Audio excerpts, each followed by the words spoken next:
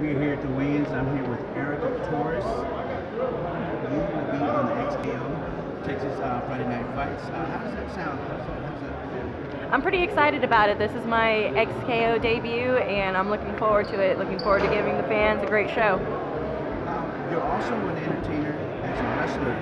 How does um, how does that become? Uh, I originally started out 10 years amateur wrestling and then transitioned over to MMA and professional wrestling as well. Um, I enjoy doing both, going back and forth. Um, it definitely keeps me going, a lot of working out. You're making your de- debut. Um, when you got the phone call, what um, what kind of thoughts were running through your head? I was excited about it. Uh, I've seen a lot of stuff online about it. Uh, we, I work with uh, DFW All Pro, and uh, they do a lot of cross promotional stuff. So I was really looking forward to it when I got the call. Have you been out here to the backyard arena yet? I haven't been yet. I'm looking forward to it. It's gonna be an awesome night. Your opponent, how do you feel you match up with her? Um, she's uh, she's definitely very tall. Uh, she has a long reach. Um, she looks very stocky as well. So uh, I think we're going to be a good match. I'm looking forward to it. And what can the fans expect um, when they see you in there this time you're fighting for real?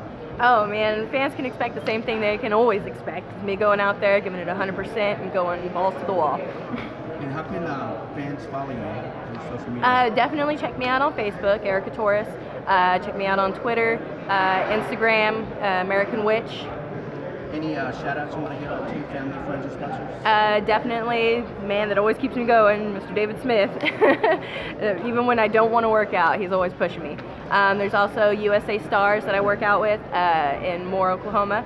Um, Pat Burris, uh, Sensei Pat, amazing, amazing talent.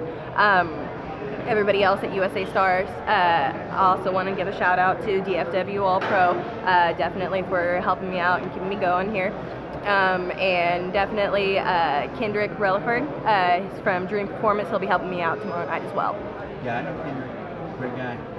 Thank you for your time. I know you, you anxious to get on the scales and get out of here, get some fluids, get your body. Appreciate your time. Best of luck to you tomorrow, Erica. Can't Thank wait to see you. Thank you.